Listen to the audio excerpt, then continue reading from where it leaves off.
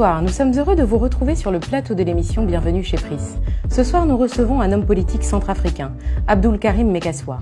Ministre sous la présidence de François Bozizé pendant six ans, directeur de cabinet de Jean-Paul Ngoupandé, Abdul Karim Mekassoua était également le président de l'Assemblée nationale avant qu'il ne devienne, le 26 octobre 2018, l'homme à abattre. Rencontre. Bonsoir Karim Mekassoua. Bonsoir.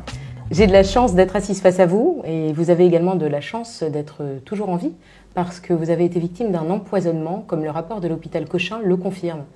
Qui a voulu faire de vous un homme mort et pourquoi? À qui aurait profité le crime?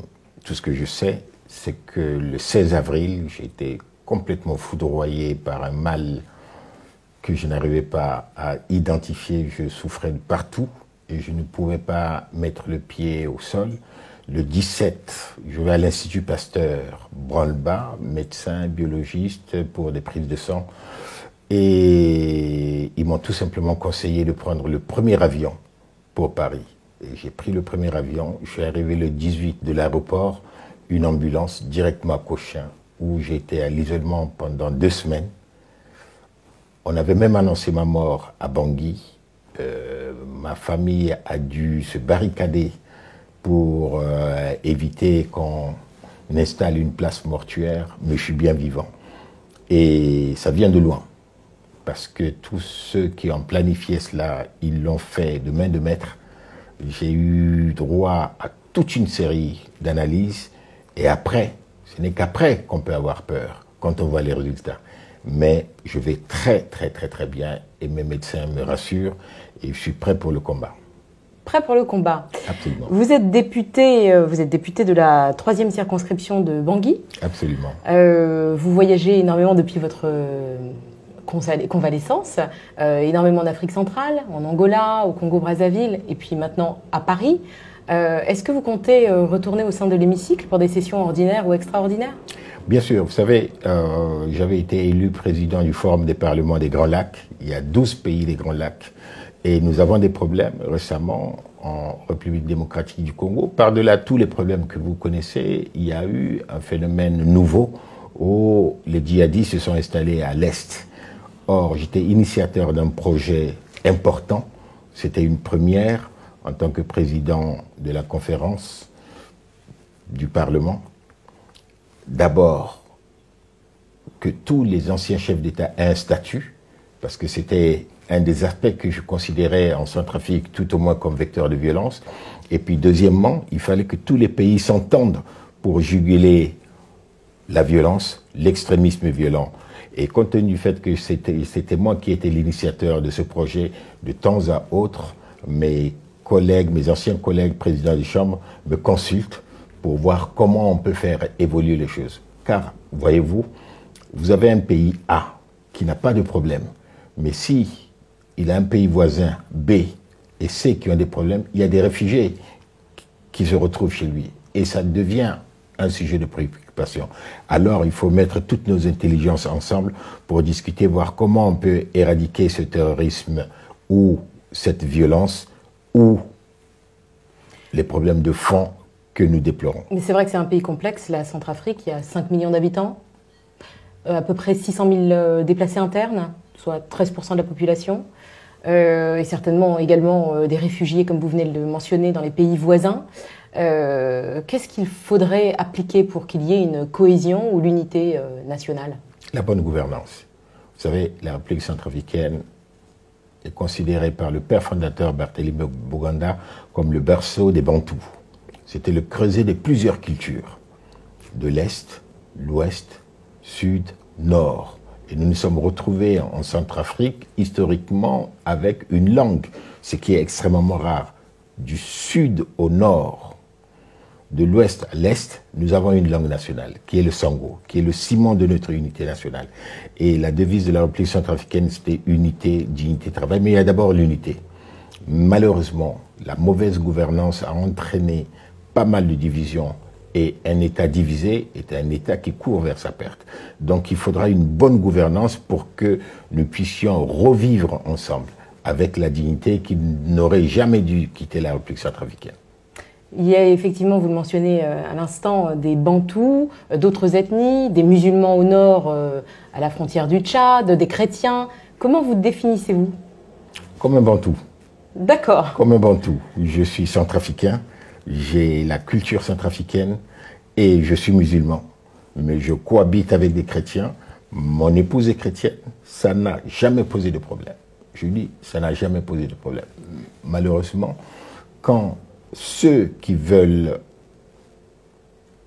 conquérir le pouvoir n'ont pas d'arguments, n'ont pas de projet, alors ils attisent la haine entre les confessions. Mais vous verrez, aujourd'hui, le sentiment national est plus fort que la division confessionnelle. Alors, euh, une nouvelle équipe gouvernementale conduite par le Premier ministre Firmin euh, Grebada a été formée. Euh, plusieurs portefeuilles ministériels ont été confiés à des représentants de groupes armés, également à l'opposition, mais rien pour la société civile. Qu'en pensez-vous? Le plus grand mal. Le plus grand mal, vous voyez,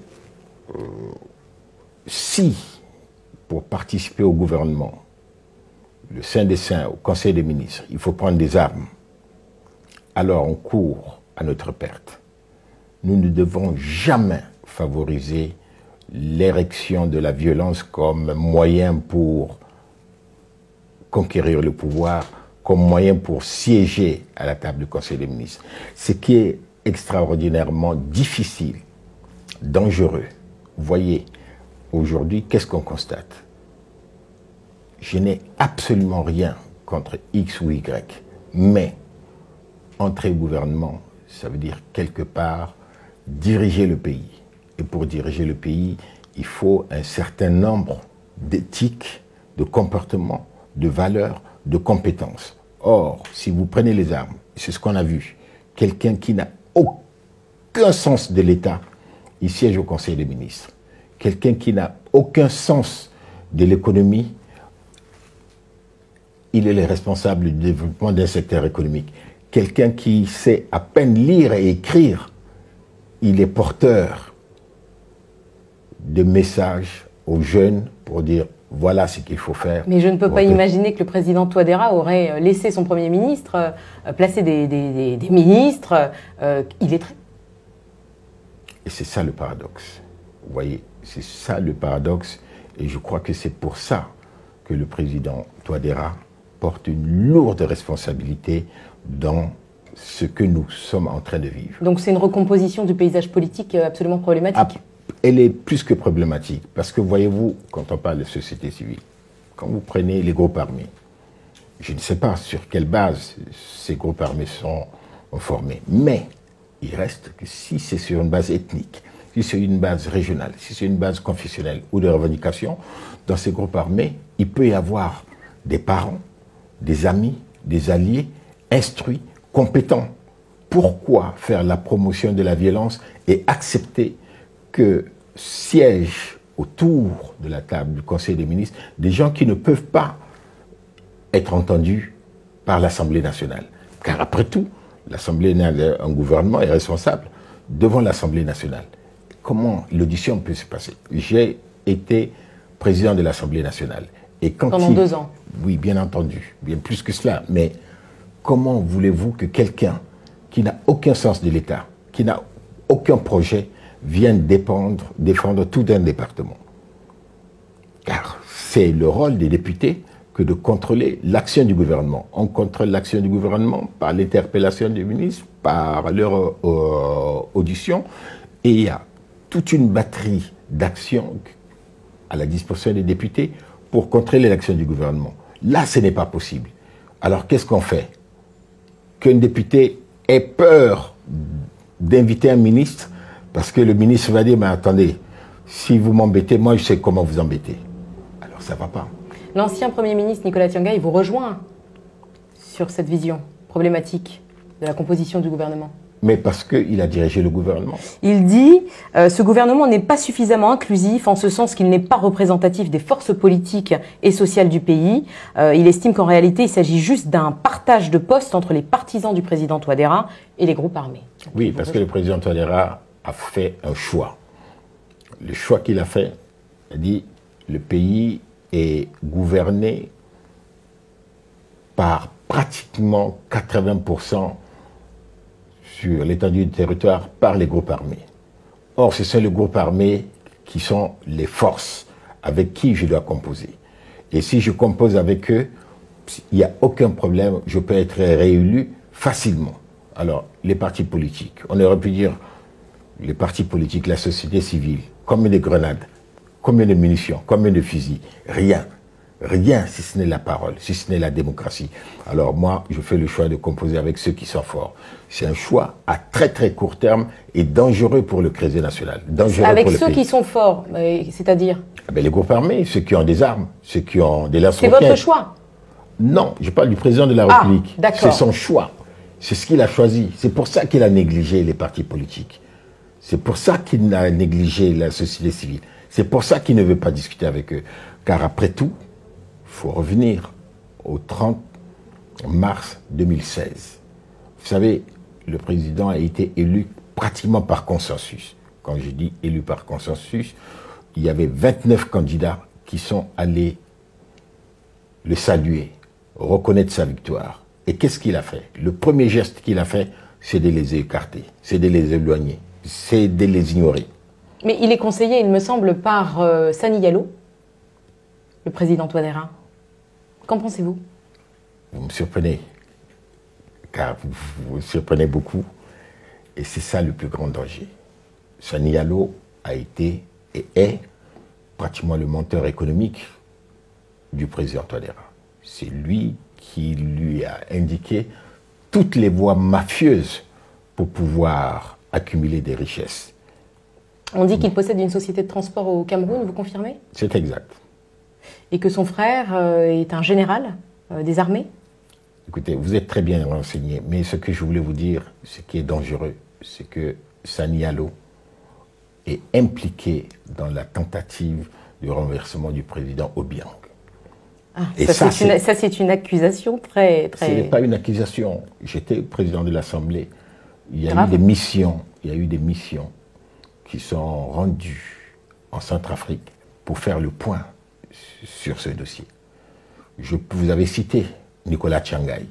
Oui, l'ancien Premier ministre. Vous pouvez lui demander. C'est Nicolas Tchangaï qui m'a alerté avant le coup d'État. Donc la, tentative d'invasion de mercenaires qui a eu lieu en Guinée équatoriale, euh, il me semble, le 27 décembre, aurait été euh, planifiée, organisée par Sanialo. Vous pouvez demander à Nicolas Tchangaï.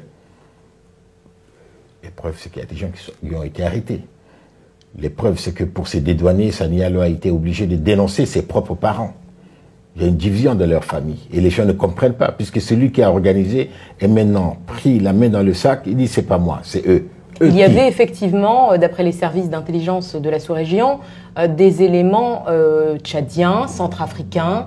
Est-ce que cela signifie pour autant qu'ils sont des proches de Sani Yalo Écoutez, voilà ce qui pose problème pour la République centrafricaine. Nous sommes devenus le ventre mou de l'Afrique centrale.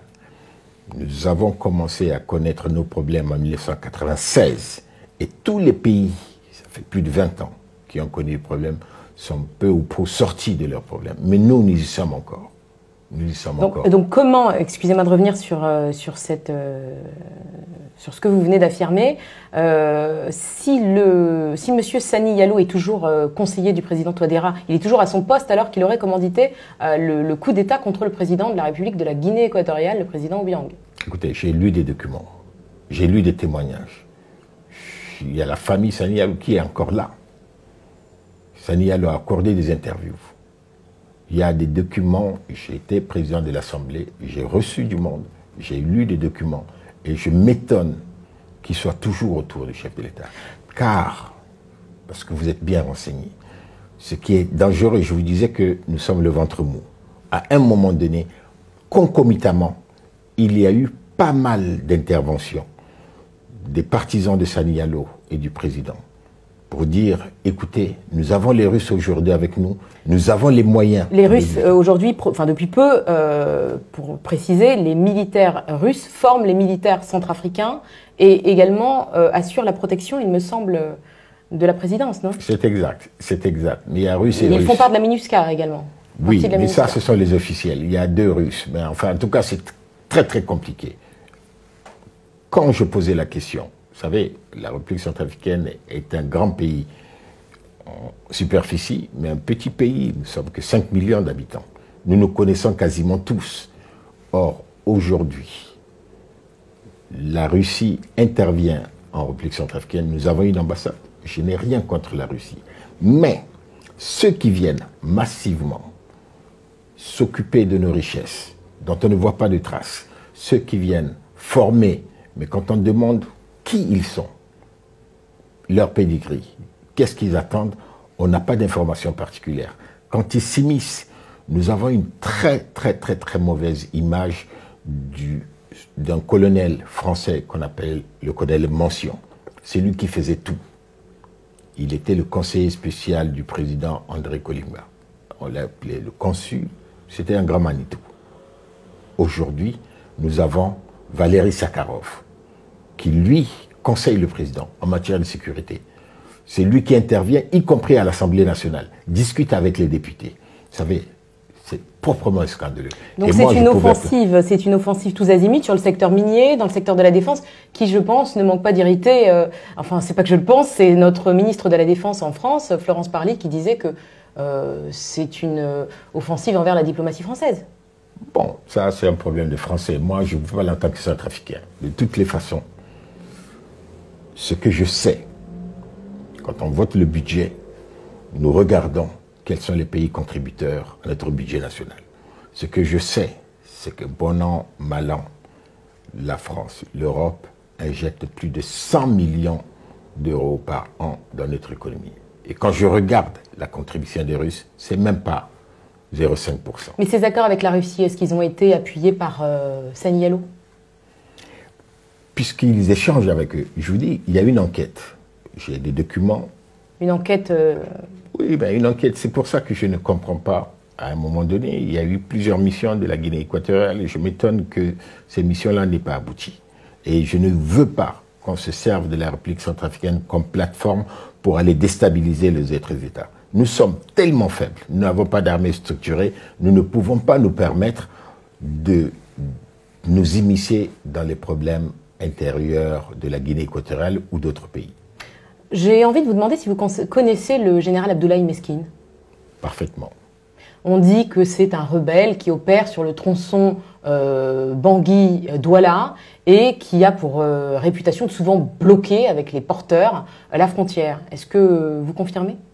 Écoutez, je vous ai répondu tout à l'heure parfaitement.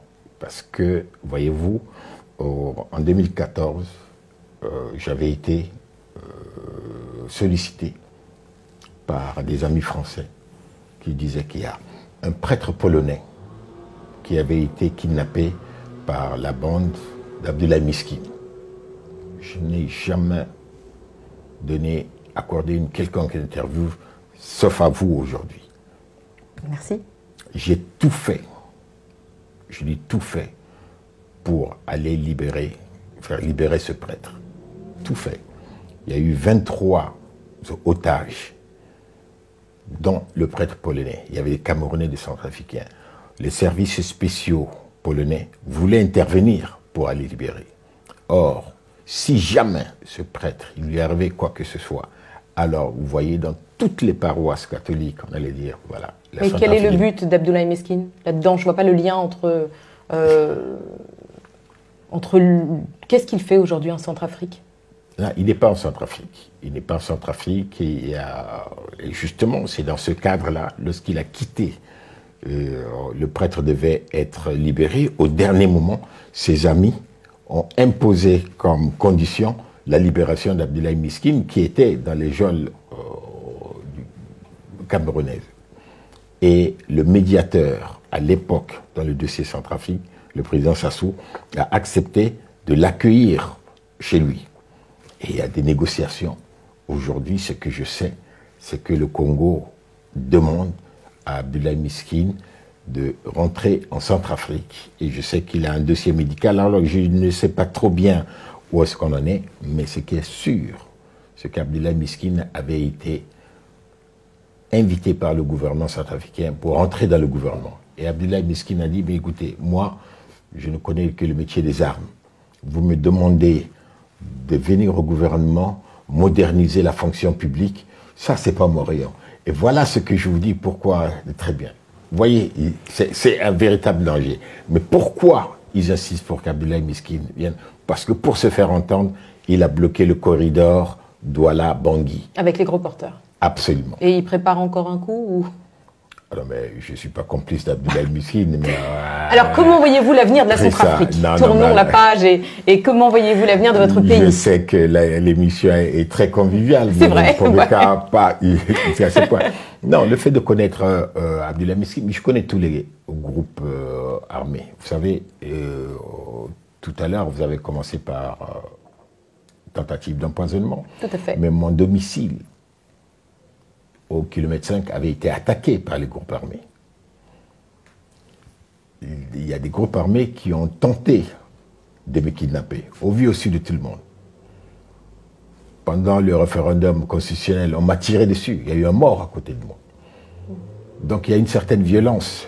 Et cela m'a permis de voir qui est derrière. Pourquoi?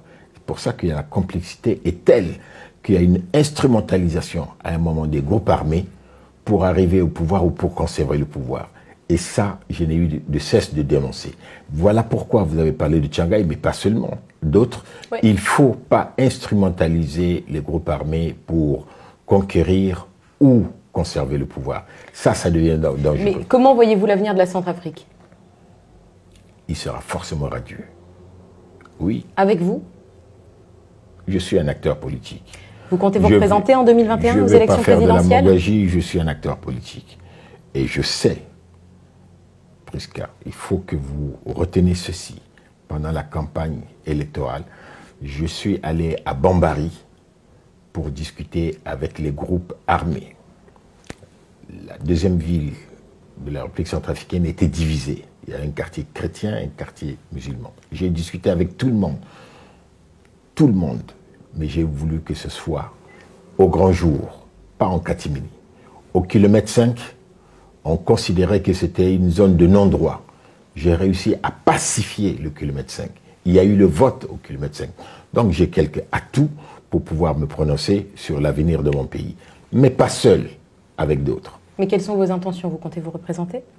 Dans, dans, un premier temps, je vais repartir en République centrafricaine, siéger comme député du 3e arrondissement et mener la lutte politique parce qu'aujourd'hui, il y a suffisamment d'éléments, c'est le dernier scoop que je vous donne, pour traduire le président de la République devant la Haute Cour de justice pour violation massive du serment qu'il a prêté le 30 mars 2016. Oui, madame. Parce qu'il faut utiliser la voie politique, la voie judiciaire, on respecte notre constitution. Celui qui ne respecte pas cela, il faut qu'on le traduise et utiliser tous les moyens pacifiques pour arriver à cet objectif. Donc vous n'avez pas peur après cette tentative d'empoisonnement contre Au votre contraire, personne ça m'a renforcé dans mes convictions. J'ai passé du temps sur mon lit d'hôpital à réfléchir sur le sort du pays. Personnellement, je n'ai aucune crainte. Je n'ai ni peur, ni, je ne aucune rancœur mais je vous dis, le président de la République sera traduit devant la haute cour de justice pour violation de son serment. Et ça, c'est une voie pacifique. Et j'espère qu'avec de nombreux centrafricains qui n'en peuvent plus de cette situation, on va se lever pour changer le sort de notre pays. Voilà pourquoi je dis radieux.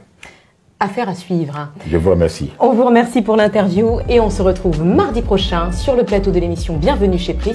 Et en attendant, n'oubliez pas de vous abonner à l'ensemble de nos réseaux sociaux YouTube, Twitter, Facebook, Instagram. À mardi.